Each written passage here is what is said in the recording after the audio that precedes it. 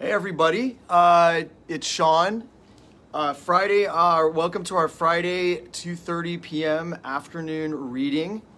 And uh, before we get started, uh, just to let you know, I know some of you already know this. Uh, the video I'm going to make is also going to be available on my YouTube channel afterwards, a little bit later this afternoon, and then you can also watch it on my Sean Forschler Realtor page on Facebook, which is where I'm streaming from now. Um, so uh, yeah, I think I think that's it for right now. So uh, last week we read, so we've read some nonfiction, we've read some science, and uh, we did a tale last week about Balto the dog. So this week, um, and then I read volcanoes. I don't know if you were with me the first time. We did volcanoes the first time I did this, and uh, the book is the book we're going to read today is called Icebergs and Glaciers. It's another Seymour Simon book. And the one on volcanoes I read was also by Seymour Simon, and I like his books. They're, he has great photographs and uh, good information, not too much information, but just enough so you kind of learn a little bit about the different subjects. Um, he's got one on earthquakes, weather, and all that, and we'll get to that, you know, in in time.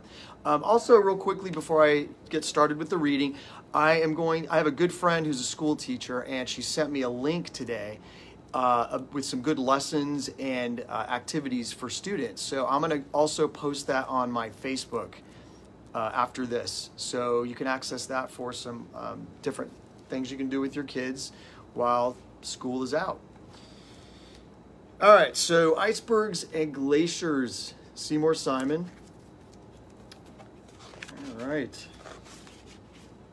So there's a dedication to my new friends in Ketchikan, Alaska. So that's a small town. I think it's in the Alaskan panhandle.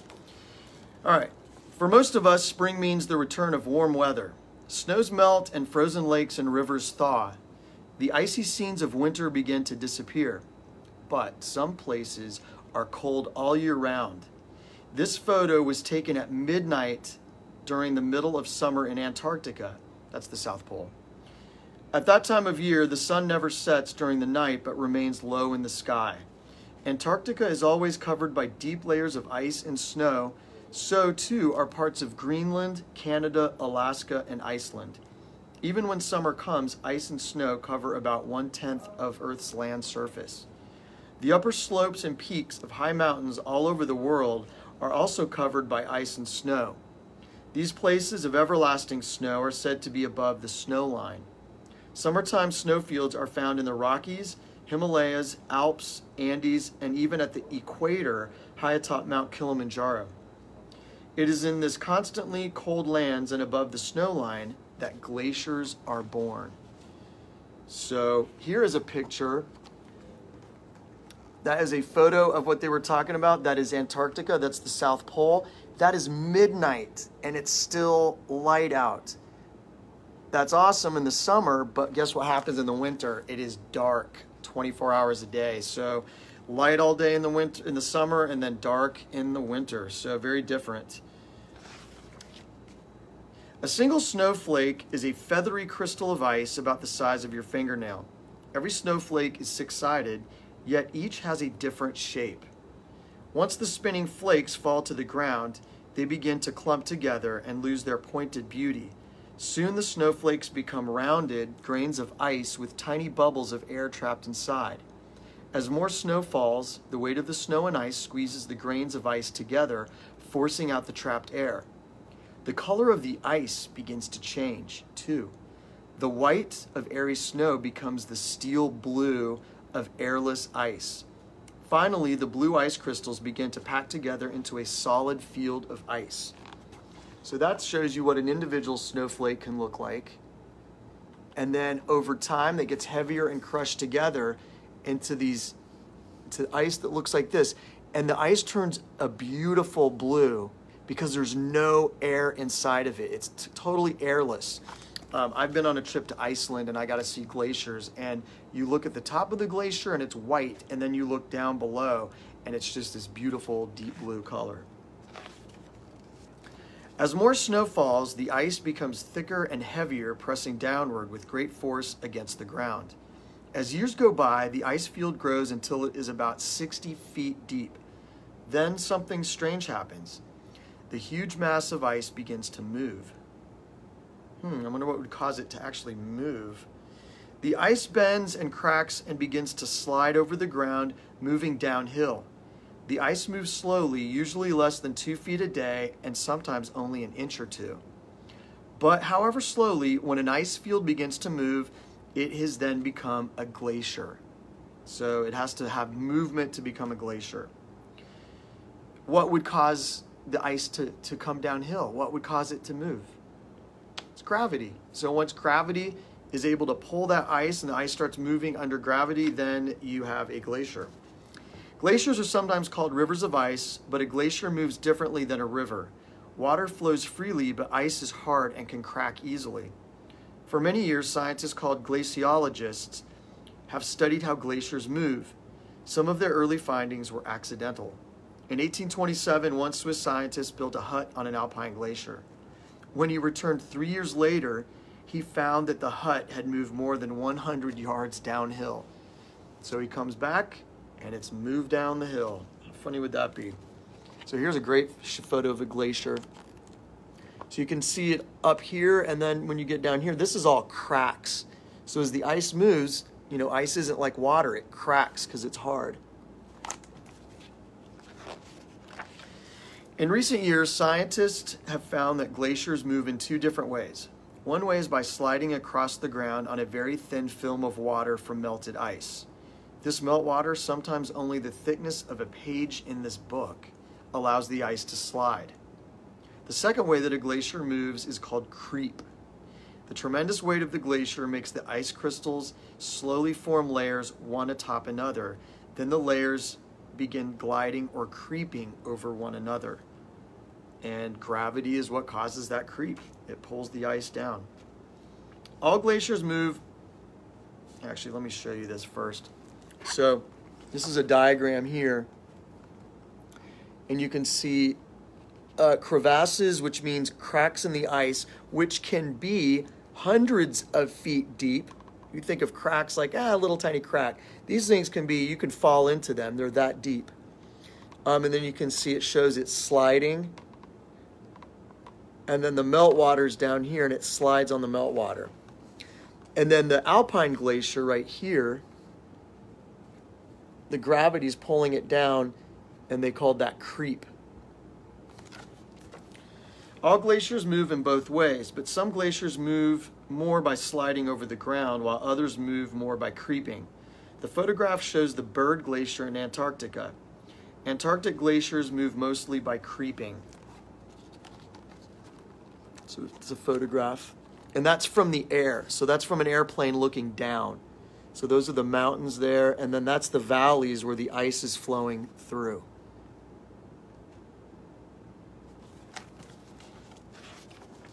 Different parts of a glacier move at different speeds. Louis Agassiz, a 19th century Swiss naturalist and scientist, once planted rows of stakes in straight lines across a glacier. The following year, Agassiz found that the stakes had all moved down the valley, but the stakes in the middle of the glacier had moved the farthest. That showed that the ice in the middle of the glacier was moving faster than ice along the sides. Hmm. Interesting. In the early part of the 20th century, Swiss and Italian scientists drilled holes straight down through the thickness of a glacier. Then they placed iron rods in the holes. Over the years, the scientists found that the rods bent at the top. This showed that the ice at the top of a glacier moves more quickly than ice at the bottom. Nowadays, glaciologists use photograph or photography and other methods to learn about glaciers. The photo shows a scientist using an instrument called a transit to help find out the speed of a glacier. So there's our scientist, and there's the glacier down there.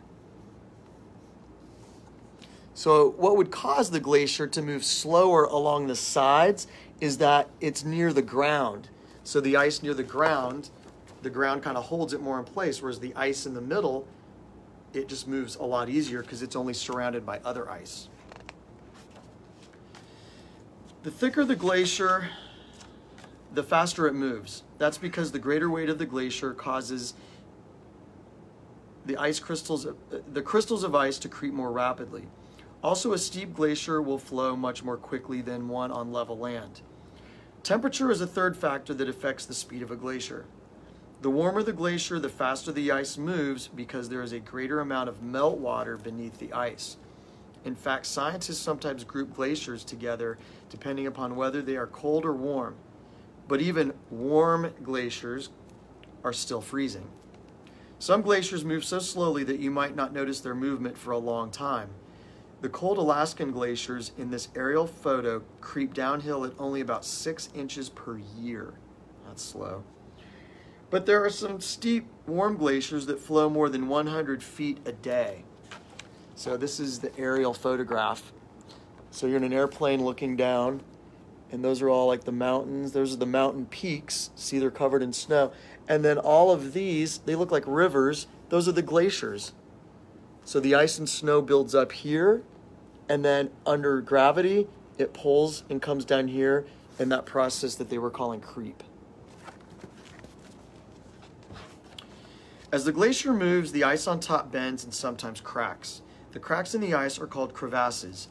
The crevasses can be deep and wide and very dangerous. This group of scientists exploring the Juneau ice field in Canada has to travel carefully.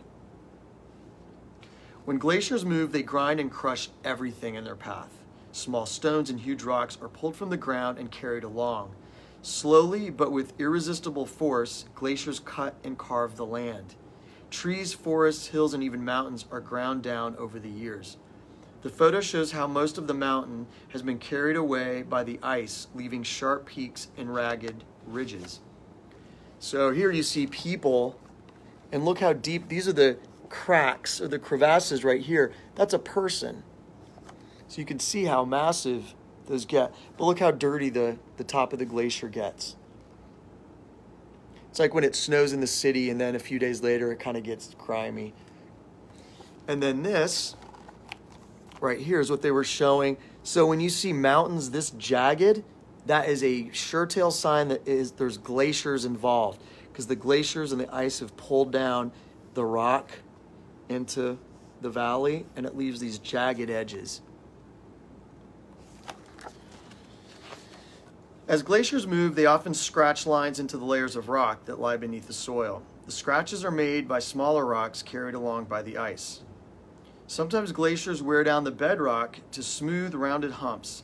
To some people, these rocks have the shapes of a flock of grazing sheep. So they are called roches moutonnées, which is the French word that means sheep rocks.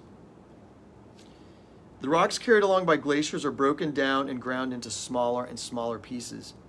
The smaller pieces are ground again and again until they are very tiny particles, almost too small for you to see. These particles are called rock flour and they are carried away by a glacier's meltwater. Rock flour, carried by the meltwater stream from a glacier, has turned the seawater a grayish brown color. So here's those Roche moutonnées. They look like, I don't really think they look like sheep, but whatever, somebody did. And you can see all that grinding. That was the glaciers. The ice scooped over it. It ground and scraped that rock. And then right here, all that rock flour turns the water kind of that brownish color, grayish brown color. And that is the glacier coming down, and that's the very end of the glacier where it starts melting.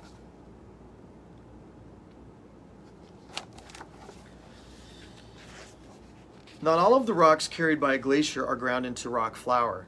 Some of the rocks are left behind along the edges or at the end of a glacier. Sometimes these rocks build up into ridges or piles called moraines. You can see the moraines in this photo of the Worthington Glacier in Alaska. There are many types of glaciers. Mountain glaciers start as snowflakes atop mountains. Then they begin to move downward, following valleys until they reach the snow line and melt during the summer. Mountain glaciers are often thousands of feet wide and many miles long. Avalanches of snow roar down their surface. Sometimes mountain glaciers do not melt when they reach the bottom of the mountain. Instead, the glaciers flow over the countryside to form ice fields over level ground. So right here, this one, there's the glacier all there. And then that little mountain was the land that the glacier brought down. And then it melted and then you're left with this kind of little mountain here, this little hill. And then here, all the mountains, all the snow, and then the glacier just comes right down into the valley.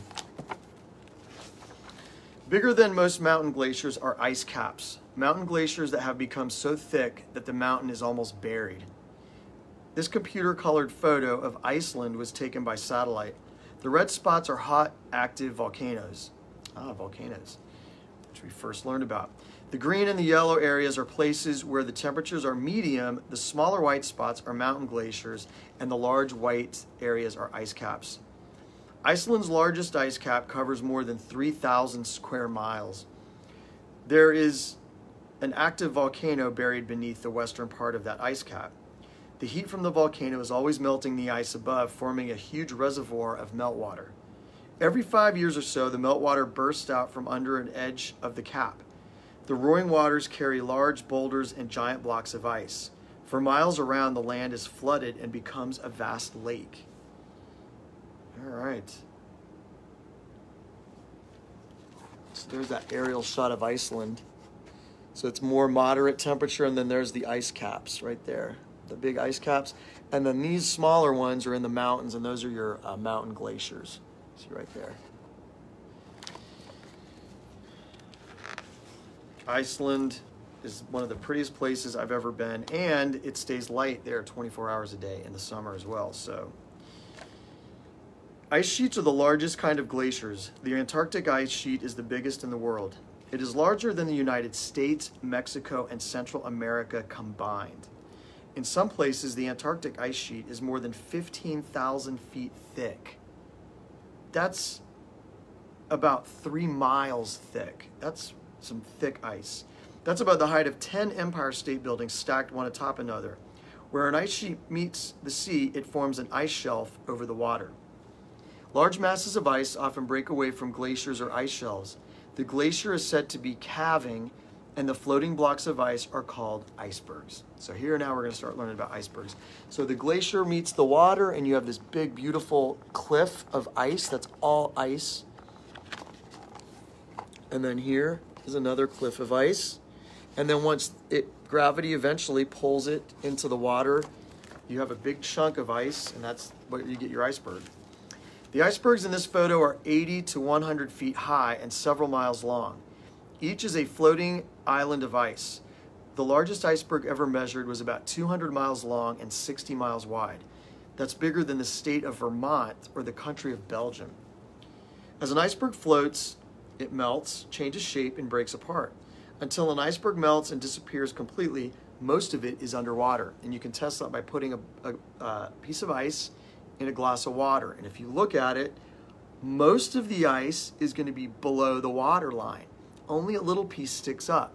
So glaciers are the exact same way. So these are what fresh glaciers look like. They're huge chunks of ice. And then over time, they melt and form these really beautiful odd shapes.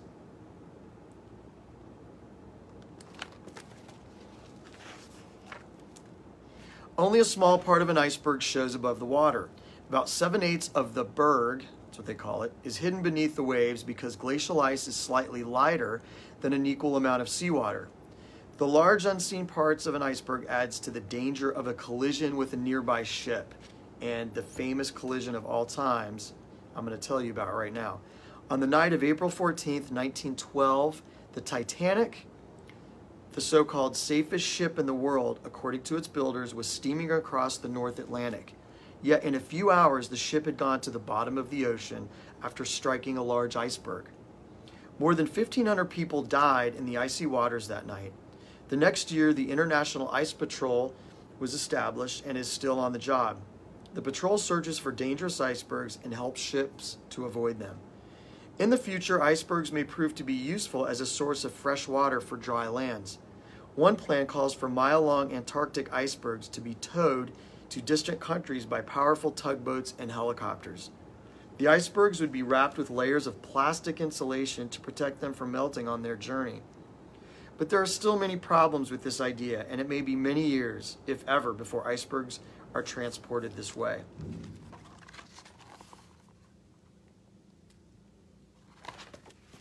All right, we are almost done. 20,000 years ago, ice sheets covered most of Canada, all of New England, and much of the Midwestern and Northwestern United States. Most of Great Britain and large parts of the Soviet Union, Germany, and Poland, along with smaller parts of Austria, Italy, and France, were also covered by ice. Then, about 10,000 years ago, the ice began to melt. Today, glaciers are found only in the cold polar regions, like the Arctic and Antarctica, and in high mountains. During the past million years, glaciers and ice sheets have advanced and covered large parts of the Earth at least four times, and perhaps as many as 10 times. Scientists call this period of time the Pleistocene Ice Ages. Today, we can see the ways that the land was changed by glaciers. The rivers of ice cut valleys through the land and made rolling hills. Rocks and boulders were dragged from one place and dropped in another place far away. Perhaps the place where you live now was once covered by ice. If you look around, you may find clues to past ice ages. Scratches on bedrock, a big boulder that's just in the middle of a field, or a round pond left behind as the ice melted. So here you can tell this was once covered by glaciers because you have all these little pockets where they're now filled with water. So a lot of lakes. Plus, if you ever are out in a field anywhere and you see a gigantic boulder, you can almost guarantee that it was brought down by a glacier. And then once the glacier melt, what does the boulder do? It doesn't go back home. It just drops right where the glacier left it. Will the great ice ages ever return? Will ice sheets eventually bury New York, Chicago, London, Montreal, and other cities of the North? Or is our climate getting warmer, melting the huge polar ice fields and raising the level of the oceans? Some scientists say that the last century has been the warmest in the past 4,000 years, and it may become even warmer in the next century. Many mysteries remain. Scientists continue to study the ice ages and glaciers of today. And little by little, the world of ice is yielding its secrets to science. All right. So that was Icebergs and Glaciers by Seymour Simon. I apologize, this is all backwards, but uh, it is what it is. All right, well, that's it. So I appreciate you guys joining me today for our reading about icebergs and glaciers. Um, and I look forward to seeing you next Friday. And actually, next Friday, I am going to be in a different part of the country. So you will not see this background. You're going to see, I don't know what background, but something different because I'm not going to be here. So, anyway, have a great weekend, everybody, and I will see you next week.